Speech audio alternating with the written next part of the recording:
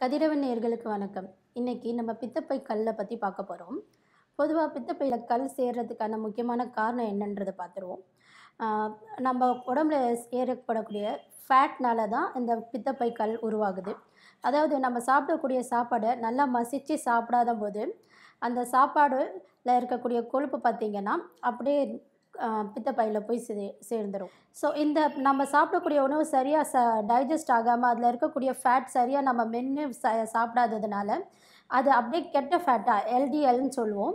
Low density lip lipoprotein சொல்லுவோம். இந்த fat என்னாகும்? பித்த நீராக சேர்ந்து க பித்தப்பையில் சேரும்போது நம்ம சாப்பிட்ற உணவு டைஜஸ்ட் பண்ணுறதுக்கு இந்த பித்த நீர் ரிலீஸ் ஆகும். இந்த இதை ச கெட்ட கொழுப்பாக இருக்கிறதுனால சீக்கிரமாக கரைஞ்சி வெளியே வராததுனால பித்தப்பையில் அது அப்படியே க பித்தப்பையில் சேர்ந்து கல்லாக மாறிடும்.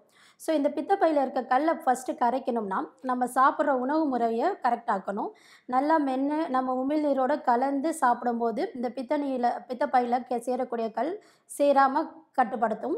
அண்ட் இதை குறைக்கிறதுக்கான சில வைத்திய முறை பார்த்தீங்கன்னா ஆஹ், கீரை கேள்விப்பட்டிருப்பீங்க. இந்த கீழாநெல்லி கீரையை ரூட்டோட சின்ன சின்ன செடியாக இருக்கும். இந்த செடியை ரூட்டோடு நீங்கள் எடுத்துட்டு நல்லா நசுக்கிட்டு அதை மோரில் கலந்துக்கணும். மோரில் ஒரு பதினஞ்சு நிமிஷம் ஊற வச்சுட்டு காலையில் வெறும் வயத்தில் வாரத்துக்கு ஒரு நாள் இல்லை ரெண்டு நாள் எடுத்துக்கும் போது இந்த பித்தப்பை கல்லீரல் கல் சேர்றதும் கம்மியாகும்.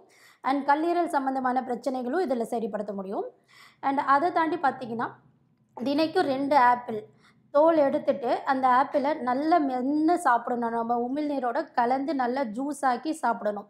இது இதை அது தொடர்ந்து இந்த ஆப்பிள் சாப்பிடும்போதும் பித்தப்பையில் இருக்கக்கூடிய கல்லும் கரையும் அண்ட் லிவருக்கும் ஹெல்த்தியாக இருக்கும்.